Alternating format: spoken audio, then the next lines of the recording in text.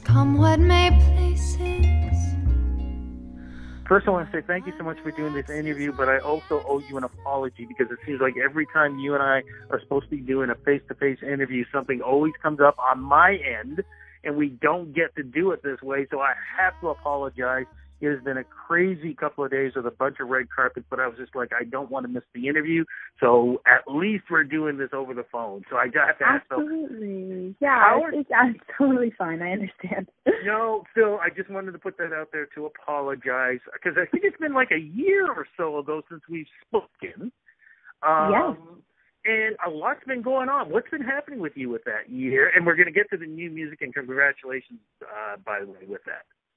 Thank you. Yeah, the last year has been definitely crazy. Um, I, you know, I started the last year continuing to work on the album, finishing up recording, uh, starting to mix, master, uh, getting into the visuals, making a music video with a dear friend, um, and then of course the album came out in October, and since then it's been promoting and playing shows. So yeah, it's been a definitely a really busy but also really wonderful year, for sure.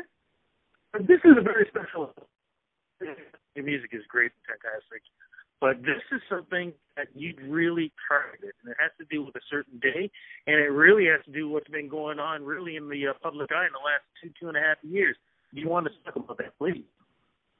Yeah, um, yeah, just a little bit of background, yeah, on, on the project. Um, yeah, the album, uh, all of the songs center around femininity and womanhood and um, the female kind of experience, and uh, so I, I made the album with an entire team of women, uh, every every role from studio musicians to engineers to mixing to mastering to album artwork to music video direction and crew. Um, every role was was filled by a woman, and um, yeah, so that's that's quite special to me, and and something that you certainly don't see too much in such a male dominated industry, you know. Do you think a lot has been changing? I mean, I was just dealing with the Canadian Screen Awards, and I do believe they said 60% of the nominees were women directors. Um, you're noticing now that when you see sort of like the Juno Awards, you're seeing more women walking up on stage with with the gold, whether it be a performer or a videographer. Um, do you are you starting to see the changes happening now? Yeah, I mean, I think that um, women and female musicians uh, are definitely starting to understand that we have the power and the control to take our own music into our own hands. We don't need men to make music. Uh, we can choose to work with men if we so choose, you know, and that can be wonderful and amazing, but it's not a necessity perhaps anymore um, as it was once thought of. Although I will say, like, still only 3% of people working in music studios are women. So That's that true. statistic is pretty upsetting and uh, pretty, yeah, like pretty hard to swallow. So, you know, I think behind the scenes, uh, things are still pretty bleak in terms of just like straight statistics and numbers. Like there just are not enough women, um, you know, being embraced in the studios and, you know, in any realm outside of just performance. So that's something that I think about a lot and think still has a lot of room to improve, you know. Do you remember where you were when you decided you wanted to do this? Um, and do you remember exactly why? Was there an incident or anything that made you go, you know what, I need to do this? Yes, I was. I I live in Los Angeles now, and I had just moved to LA. Uh, the fall of 2016, I had my cute little studio apartment in Hollywood. I was sitting at my desk. I was starting the process of writing this album, and Donald Trump had just been elected president of the United States. And myself and many of the people around me, especially women and people of color, were extremely upset, uh, extremely just a lot of turmoil and, and panic. And I was sitting at my little desk, uh, writing my, my songs and just kind of trying to figure out like what to make of all of this. And I just felt like I wanted to surround myself with women um, as much as I possibly could just to feel better and safer and more understood. And that was kind of how it all kind of began, I think.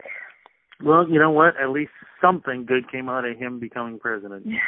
you and this album. So Thank at you. least something. Um, what's the lead track from this? Um, the first single was Two. Uh, we made a nice music video. Me and my dear friend Anastasia Lebedeva made a music video for the for the song that we're very proud of, and um, that was our first single. And the second single is Lush Life, which we just released as a single a couple weeks ago. What is that one about, please?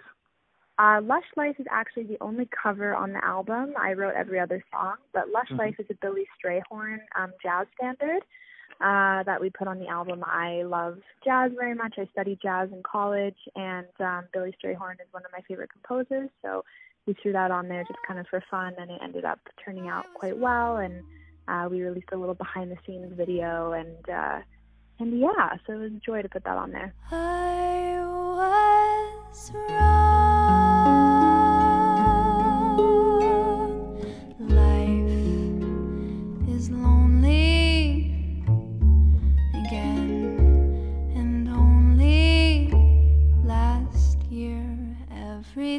Seemed so sure. Now, I do believe that. Did you have a show last night? I did. Yes, still recovering. How, how did it go? Because you are here in Toronto as we speak.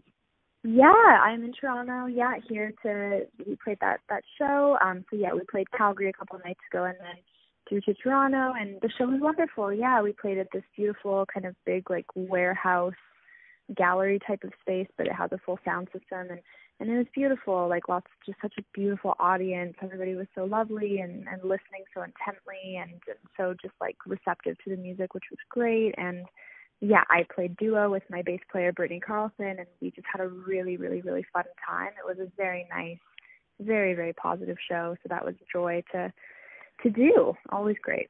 what advice can you give young ladies who are getting into this business right now? Because I know when I got into this business, yes, it was definitely male uh, dominated, but it's not just those changes going on with women and finally getting their enforcement in this industry. It's the industry itself. I mean, just the technology and the things that you use are changing constantly. So, yes. what advice can you give young ladies getting into this business, whether they're going to be behind the board, in front of the microphone, or even promoting music? What advice can you give them?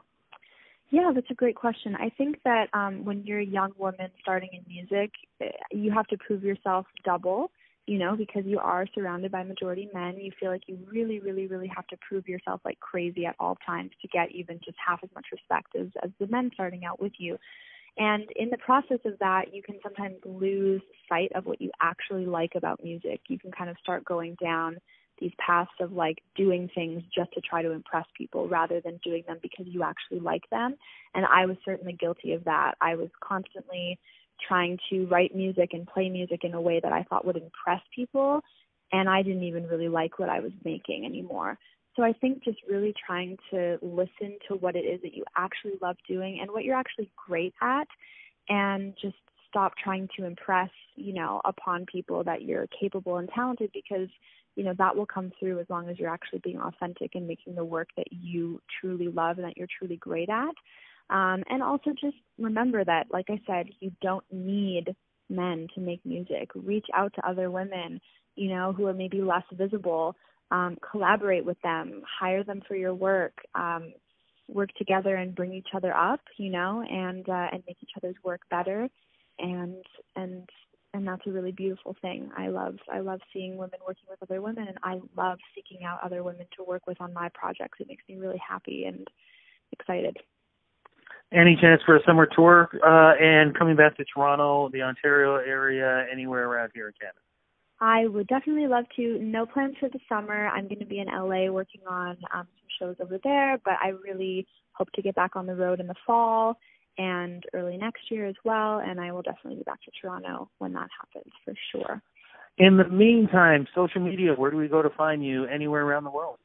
Yeah, you can find me at Lindsay Kay Music, K A Y Music, uh, on Instagram, I don't particularly enjoy Twitter, but I have one. I don't really use it very much. And uh, Facebook and lindsaykaymusic.com for tour dates and, and info for my music and everything like that. Believe me, I know exactly what you mean. Oh gosh, I didn't have to do the social media stuff. Anyways, great talking to you. So sorry You we couldn't too. hook up in in person, but I promise you, I don't care if the world is coming to an end before it does. We are going to meet up one on one, and we're going to make sure we get to do a sit down interview. That Thank- sounds fantastic. Thanks, Rudy. Have a good one. You too. Take care. Bye bye. okay. to